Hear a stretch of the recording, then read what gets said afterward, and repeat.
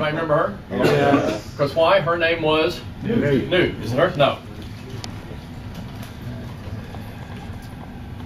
New TV show, Newt Hunter. Can you imagine? Imagine this guy hunting for newts out in the, you know, whatever. It was really bad when I was doing this, trying to come up with things for humor. Or is it scary aliens who use the wrong finger? You'll get the right finger here in a minute, I'm afraid. No, no, it's not. It's not a scary alien either. No, it's not that. The newt is stands for nut extended with turbo. Nut, of course, the uh, code name for melodic.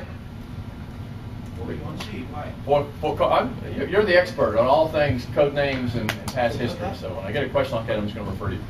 That's The- the processor for them, the 41. It's even the processor in the original Voyager series.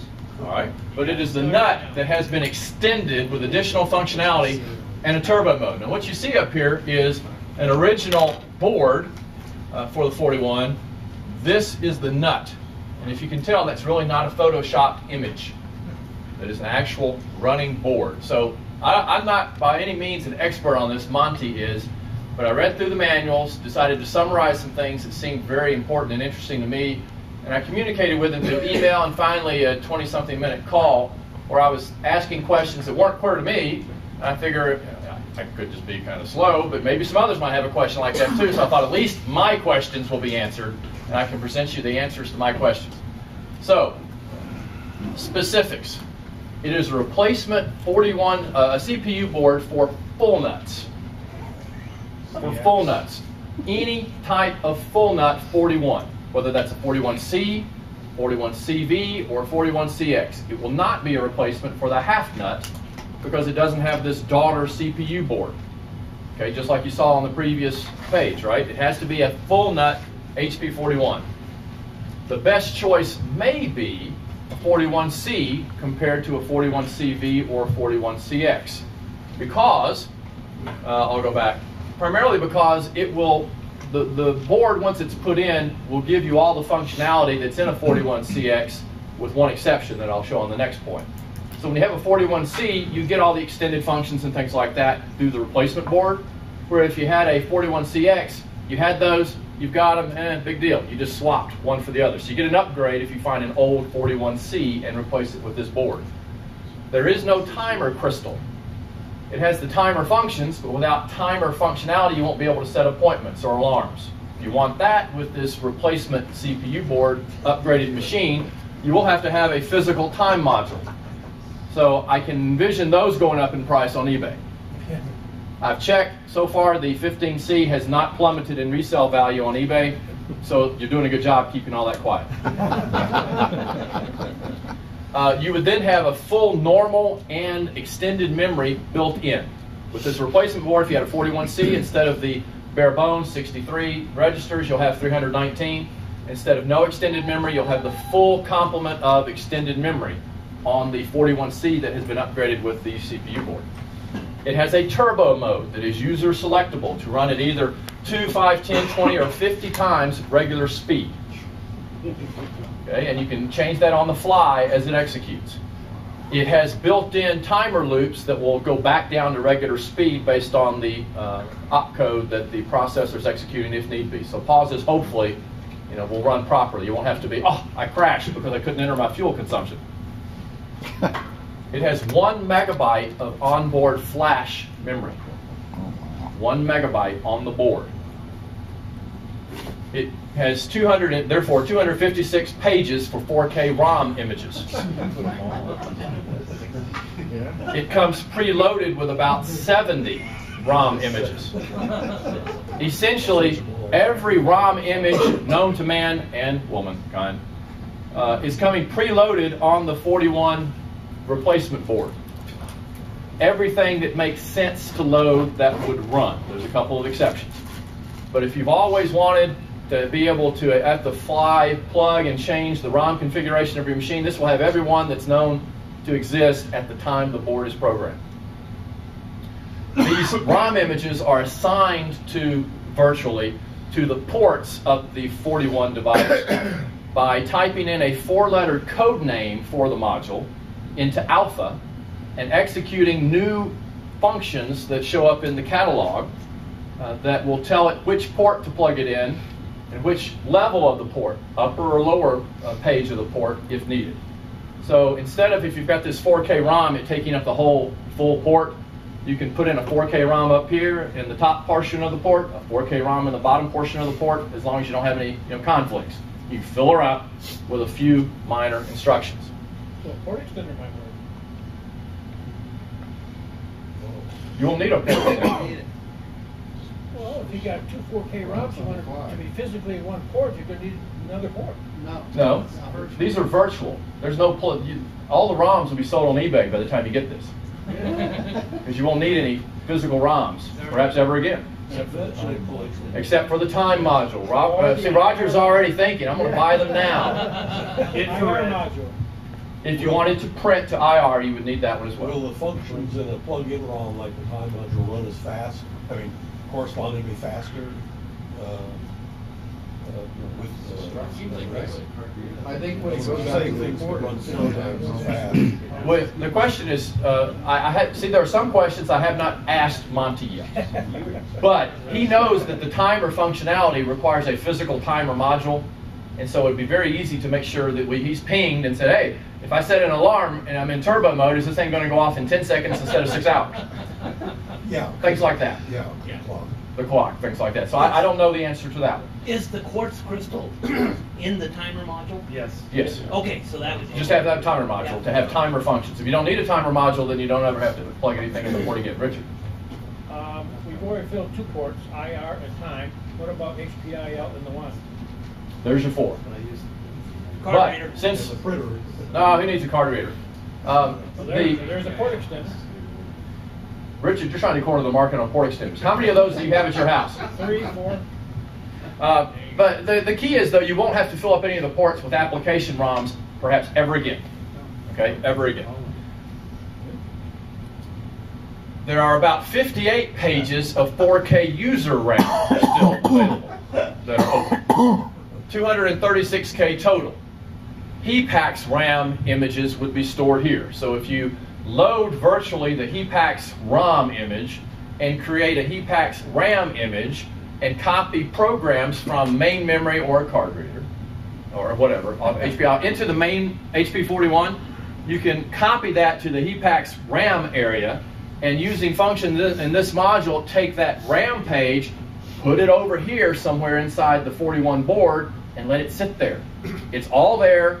You just it's a, it's a. It's like a ROM. It's just a ROM page, a RAM page sitting over here, waiting for you later to take it and plug it into this location once again. So you could create uh, 236k of your software, have it floating in the RAM pages on the board, and load or detach those at will. Those are battery powered. They stay there uh, until the batteries go dead, and it's or changing the batteries. Do it quickly, you know that kind of thing. The flash ROM stays there, of course, but these RAM pages would go if you took the batteries out and, and went for a vacation for a week. You load new ROMs onto this board using some external device. And Peter and I were talking about this. If you have a no VRAM module, you could flash your no VRAM module with a new ROM. I mean, suppose Eric finally decides, you know, he, I- I've got this ROM idea I've had for ages. He publishes it a week after you buy your replacement board. It's not preloaded because it just came out. Well, if you've got a no VRAM module, you can hook it up and load it onto that, plug it in, and copy it off, and then put it onto a, a page inside your replacement board. And in fact, I'm waiting until after everyone's bought this to release that ROM just to inconvenience everybody and having to flash it. Well. Well, just charge them some, some fee for it. Uh, or an MLDL device, you know, the MLDL 2000 device, or something. Or send it to someone who can, you know, load things on it, something like that. But I mean, you're going to have, you would have 70 to start off with. That's a lot. There is an onboard RS-232 port, but there is no external physical connection for it. That can be fixed. It can be fixed. There is on many of these 41Cs a side area for an AC adapter. There are wires that could be connected that could come out of that, right? So there are possibilities. It does handle RS-232 communication. For a thousand Use some of uh, Tim's cables. But as I say, there's no existing way for signals to really exit the case. You'll ha- you would have to, at the moment, kind of jury rig it. Comes with an antenna. There, an antenna. There is sound output. There is sound output. If you look up on the two pictures up here, the original, of course, has the circular bender. There's no bender on this board, but the connections for a bender are present on the board. So, uh, and talking to Monte, you have a couple of options. One is that you, you buy the board, you open your machine, you disconnect the bender and solder it to the replacement board and then put it back in your machine. Failing that, I think he would be willing for people who are all thumbs to offer a service where you send him the machine, he does the transfer and sends it back to you with the board already installed. Yeah, Roger. The, uh, the synthetic tones, uh, would they still be the same or can you guarantee? Like Well- PPC use little short beats and things like for. It is, it is supposed to work exactly like the original. If you're running it turbo, the tones, all bets would be off, but uh, the ROMs that are written in uh, the assembly language execute the same way that they're supposed to. The PPC ROM routines execute the way they're supposed to with synthetic programming. Register C still has that cold start constant, a 169 sitting there staring you in the face. It's exactly the same. I have not heard any tones, so I don't know if the Star Trek Phaser Strike routine, you know, in my Star Trek game that I like to play the, would the sound whole, exactly the the whole same. tones would fly out the window the same way as you would have like Yeah. a turbo. They'd be, they'd be four, No. ten times. I think there's, I forty think times there's like, it's likely that in Verilog code. But if you run it at normal speed, it should sound the same, I would responsible think. for generating Jeff? this and slows I was down gonna say, the what a, rates you do, what an that is not- unfortunate name. Not enough testosterone. There's no reason for You. going fast while sharing the tones. Death Nuts 3000 Tim Taylor edition.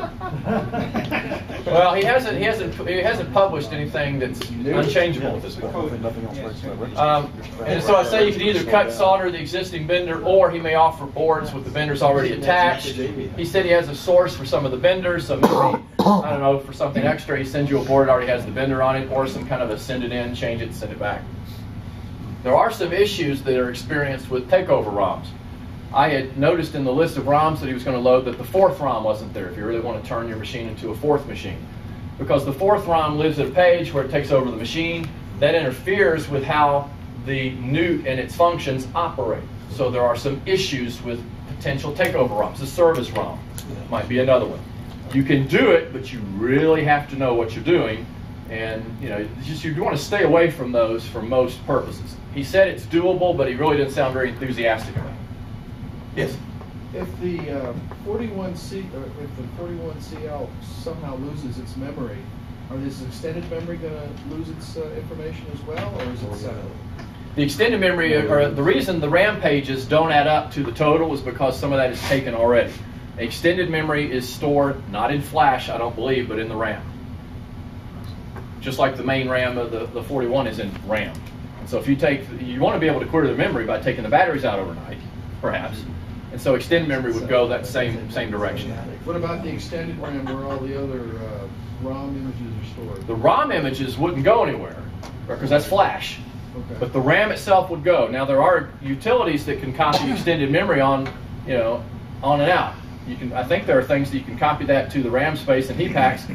And you know, we were talking about other ways of maybe taking that stuff and copying it over. Monte really hopes somebody to develop a nice file system to run on this thing with all that memory. Well, yeah, memory loss, I guess it wouldn't clear the RAM banks that you haven't switched in. That's right. Well, uh, per, uh, memory loss would not clear them, but power loss would. You're right. I mean, zero store C wouldn't wouldn't kill off all the the memory pages that are not. um, pricing. He told me about two hundred and fifty dollars, uh, but the question is, you know, how many units is he going to sell? Uh, I don't know how you know that. Buy one. I let me ask this: How many of you have a no VRAM, the plug-in module? There are three three of us. Does, uh, Richard, you have a no VRAM? I think so. You bought it in the last year and a half? No. Okay, two years roughly, something like that. It's about as long as it's been out. Okay, then I know. Okay, no, so there, so there are three of us, and that's roughly. MLDL. You got an MLDL 2000 or just a uh, different version of it? Okay. Uh, I know that uh, Egan, who was here last year, has several of these kind of things.